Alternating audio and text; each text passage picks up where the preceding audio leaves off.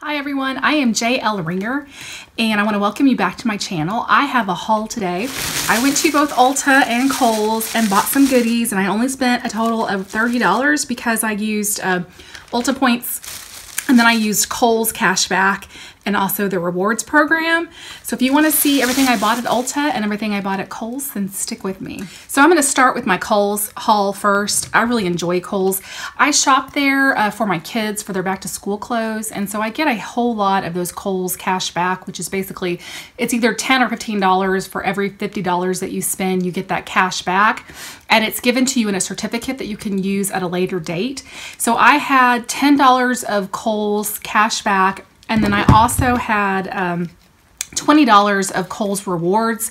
So you can stack those. So you also get rewards where you spend so much. It's kind of like the point system in Ulta. You spend so much money, you get um, rewards back for spending basically. So it's like every $100 you spend, you get like $10 back or I don't know exactly how it works. But um, I had $20 Kohl's cash. I had $30 total. So I decided I was going to spend it on makeup because Kohl's has some pretty good makeup. They have BH Cosmetics, which is kind of awesome because you can go in there and swatch it. Now, I know Ulta has it as well, but they don't have quite the selection. It's definitely not the same selection as they have at Kohl's, and Kohl's has a Desert Oasis palette. I have been lusting after this palette for months, pretty much since it came out. I took one look at it and I just knew it was a palette that would work really well for my skin tone and that it would be a really good traveling palette as well. This is 2250 and I will just open it up. I know it's it's kind of glaring. Um, it's got an gold metallic sheen to the packaging. But here is the palette. I'm going to swatch everything for you. So if you want to fast forward, you can fast forward to the very end of this video and I will swatch all of these colors. I have another palette that I also bought from Ulta and I will swatch that as well. But these colors are just absolutely gorgeous. Um, a beauty guru made me do it. She uh, on Instagram posted a picture of this and it kind of reminded me of how much I wanted this palette. I went into Kohl's. I was just running in there to go um, to take something back, I think, for one of my kids. And I saw that they had this palette to swatch and it swatches even more beautiful than it looks in pictures. And it looks gorgeous in pictures. But a lot of these are very foiled eyeshadows and foils are one of my favorites. So this is a gorgeous palette. I will swatch it all for you. I am so excited to use this. If you are interested in seeing me do uh, a first impression or do a review on this and let me know in the comments section and I would be happy to do that for you. There are a few other brands that Kohl's has um, that like Ulta and Sephora don't have. You can go there and swatch the balm which is to me it's kind of one of those online presences. And so it's really nice that you have a place you can go and swatch. So i also bought the plump your pucker lip gloss. This is a great lip gloss. I'm wearing it right now. It's in the color dramatize and it's kind of a peachy nude color. And like I said I'm wearing it right now but it is a really interesting lip gloss formula. It's supposed to plump your lips. I have never used anything that actually plumped my lips but it has a menthol scent to it. It smells great. It's a very subtle menthol smell and it does have a cooling effect on your lips. I didn't notice that it made my lips look any bigger. It's like putting on a liquid lipstick uh, when you first put that liquid lipstick on, it's very liquidy and it's smooth and it's not sticky at all. Well, this is just like when you first put a liquid lipstick on, but it does not dry down. So it contains that same consistency as when you first put on a liquid lipstick. It's very thin and it is opaque. Here's a swatch of it. As you can see, it's just a peachy nude, which I need in my collection because I don't have any peachy nude lip glosses. So if you're interested in how this wears over the long term, just let me know and I'll do a quick little review on it in my next video. These Plump Your Pucker lip glosses, these are on sale right now for $7 at Kohl's. So if you want to get a good deal on these, are normally $14. Run by Kohl's and grab some. Uh, like I said, I really enjoy the formula and I'm into lip glosses right now. I am 40, I have aging lips, I have fine lines around my lips and I just find that lip glosses tend to be more forgiving. I love my matte lipsticks, I'm not gonna lie, I still love them, but I am starting to understand the appeal, especially as you get older, to using lip glosses. And this one seems like a really good one. I'm excited to use it over the coming weeks. So I'm gonna start next with my Ulta haul. I'm gonna start with the hair product that I got. This is It's a 10 Miracle Leave-In product. They have a 10 time multiplier right now. If you are a platinum, I believe it's five times for everybody else, but if you're a platinum or, or diamond, you can get a 10 time multiplier. So this was, it's for their best selling products. This is one of their best selling products. This is a product that I use for my six-year-old's hair. If you have very fine hair and thin hair, this is probably gonna be too heavy for it. If you have thicker hair, this makes your hair shine to high heaven. So my six-year-old has very thick, almost reddish hair, and I put this in it, and it makes her hair look like spun gold. She's actually had kids at class tell her that her hair is made out of gold. This stuff, I tell you what, it is gorgeous in her hair. So I wanted to get another bottle for her um, because she enjoys it so much and it smells really good and it also gets the tangles out of her hair after she takes a bath. So the Perversion Urban Decay, this is the mascara. It's my favorite. Uh, this is a really great, great mascara. It is uh, $24 and I think this was, this is a little over $18. This one is $24, but it has a 10 time multiplier as well. So I went ahead and grabbed one and this is I mean, if I had to pick one holy grail mascara, this would be it. This lengthens your lashes and it doesn't clump and it just makes them look longer. It doesn't really volumize, but that's what I want. I want something that lengthens my lashes without making them look clumpy or spidery. When you first use this mascara, it's not the greatest. You need to let it dry out for a, like three to four days. Once you hit that three to four day mark, it is an amazing mascara. So don't judge it the first time you use it because it doesn't lengthen as much the first time. But once it gets a little bit older, like a lot of mascaras do, it wears beautifully. It is by far my favorite mascara. I am currently using in fact, I have it on today, but I am currently using just a mini of these. They have them for $10. So if you don't want to spend a whole lot of money, but you want to try out the formula, then grab the $10 one and see if you like it or not. I love it. Next, I have my primer potion from Urban Decay. I finished my primer potion. Praise God above. I thought my grandchildren were going to have to finish my primer potion because this stuff I have had for four years in my old bottle and I love it. Nothing works as well in my opinion as a primer potion. I have the Lorac one, I have the e.l.f. one. I'm going to use them up. I have a lot of glitter ones as well and I'll use all those up. This is the one I use on a daily basis and I love. And the trick is to apply the absolute thinnest amount you possibly can. The thinner you get it, honestly, the better it works in my opinion. If I get it too thick, it can kind of make my eyeshadow look a little um, patchy, I guess you could say. But if I do a real thin amount, then it just makes my eyeshadow stay all day. It just I don't, it just, it's like glue. I mean, it just grabs onto that eyeshadow and it does not let go all day. I have, like I said, had my old bottle for four years. I used it about maybe two or three times a week for a couple of years and then I started using it four to five times a week for like the last year that is how long it has taken me to go through a bottle. So um, it's kind of pricey. I think it's like, I don't know, 20 $24. I'll put the amount below, but it really is the best. And it lasts so long. If I were to divide the amount that I spent on it by four years, I'm only spending like, I don't know, $6 a year for my primer potion, which isn't very expensive considering how well it works. Okay, so the next thing that I got was my Estee Lauder Double Wear. This is my holy grail. I have tried so many foundations and I keep coming back to this. If you all know of any really amazing full coverage foundations for dry skin, let me know. I just took back the Hourglass foundation stick. It was horrible. It just, it accentuated all of my dry patches. I didn't like it at all. But this Double Wear is a matte foundation, but it doesn't accentuate my dry patches. As long as I moisturize really well, it just covers beautifully. Um, I was Ecru, but I went down to one in one Ivory Nude, which I think will be a better match for me. I am almost done with my Ecru bottle which is like the one in two, uh, and that's meant for neutral light skin. This is the one in one, and this is meant for neutral fair skin. It does lean a tiny bit pink. But this is just such a great foundation and I I want to try other foundations. I want to fall in love with other foundations, but I always, always come back to this. Last but not least, the one I am most excited about, besides my Desert Oasis, I'm very excited about that one as well, is my Sultry palette. Yes, yes, yes. I now have three Anastasia Beverly Hills palettes. This is obviously a very soft formula because you can see this is brand new, but you can see some of the powder that's kind of spread along um, the outside of the pans because I think it is so powdery. I'm dropping things. I will tell you what I do whenever I buy a palette. I always look at the palette and I ask myself, Can I envision three full looks using that palette? If I can envision three beautiful looks using that palette, then I feel like that is probably something that I should look into getting. And this is one of those that was very easy for me to envision looks because it has warm tones. I mean, you've got this kind of orange tone, but it leans a little more neutral, like towards the neutral end of the warm tone. And then you also get cool tones. And these are the shades that I'm most excited about. This is Cyborg, which is kind of a silver color. This is Slate, which is a taupey gray color. I'm really excited to use those. And of course you get a black. And then even uh, these shades that are the neutral shades like Twig, it leans a little more on the neutral side instead of the warm side.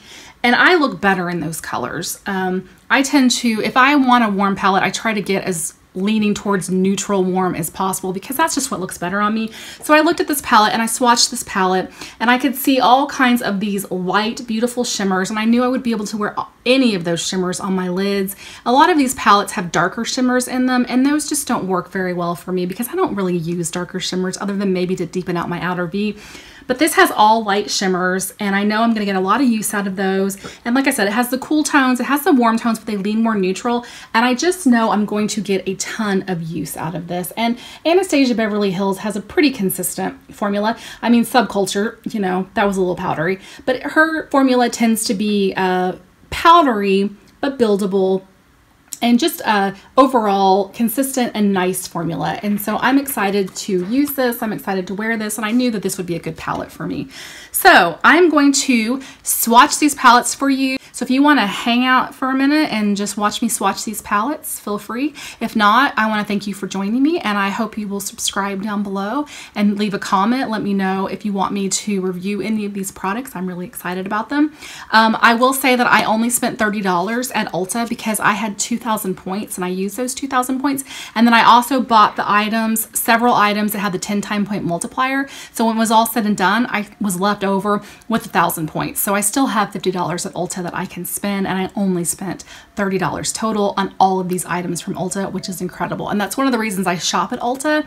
They have such a great point program. I love Sephora. I love the fact that Sephora carries the higher end products, but they're pricey and they don't have a very good point system. So even though I could get the sultry palette at Sephora, I would always get it at Ulta just because I can get points on it. And those points are going to go towards free items later on. And Sephora, uh, they just, their point system just doesn't work as well in my opinion as Ulta's does. So if you disagree with me on that, please feel free to leave a comment down below. I would love to discuss it. If you think Ult Sephora has a really great point system, I'd like to know why because I love Sephora. I'd like to shop there more.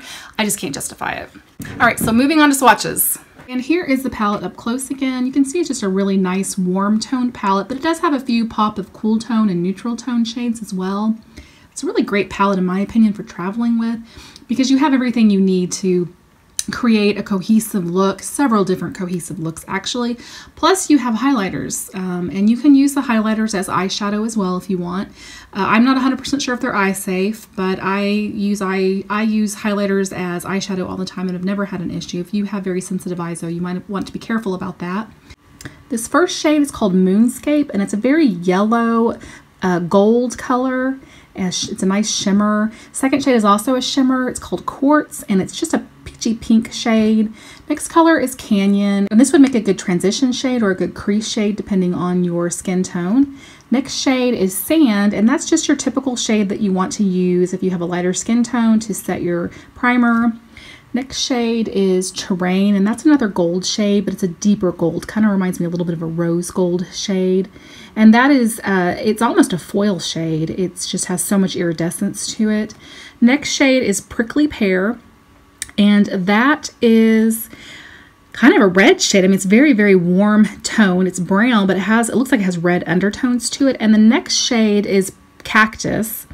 And that actually has, it looks like the same base as Prickly Pear, but it has a green shift to it. It's very, very pretty. I don't know if you can see that green shift or not. It's very interesting and very pretty.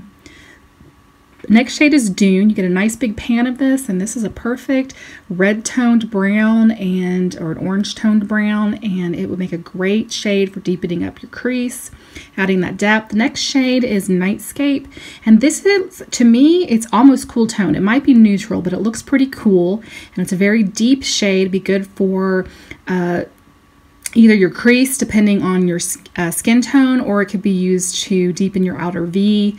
Next shade is called turquoise. I don't see turquoise in that. I don't maybe you do. Um, I see a silver tone. It's beautiful. It's cool tone and it's just beautiful. All right, next for swatches, I have Mineral.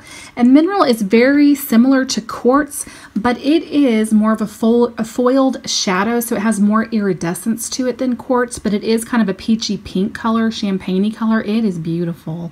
I'm really excited to use that all over my eyelid.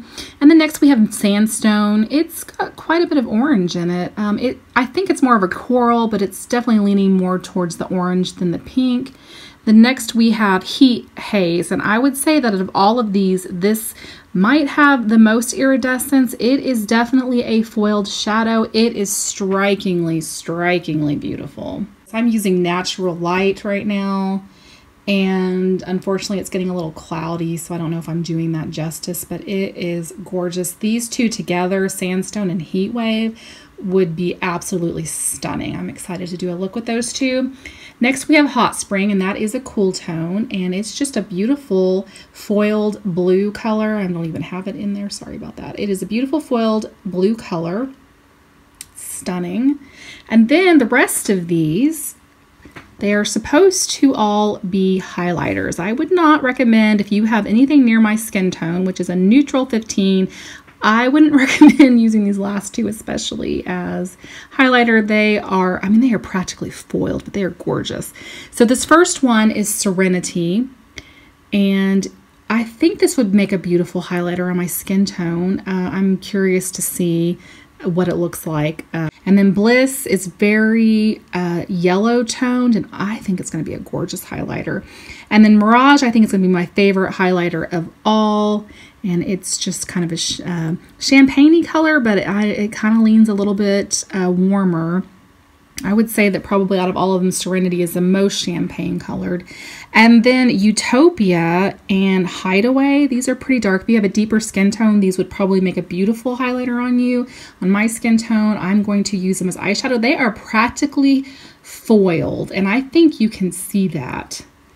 I mean, look at the way that iridescence just moves with the light. They are gorgeous and they're practically foiled, like I said. So if you like to glow to high heaven, these would be great for you if you have a darker skin tone. Um, I would say that Mirage is, mm, it's a shimmer. It's leaning towards foiled, but not quite. And these two are more traditional highlighters that I will probably get the most use out of as highlighters, but honestly, all of these would be gorgeous as eyeshadow as well. And you get big old pans of them, so they'll last you forever.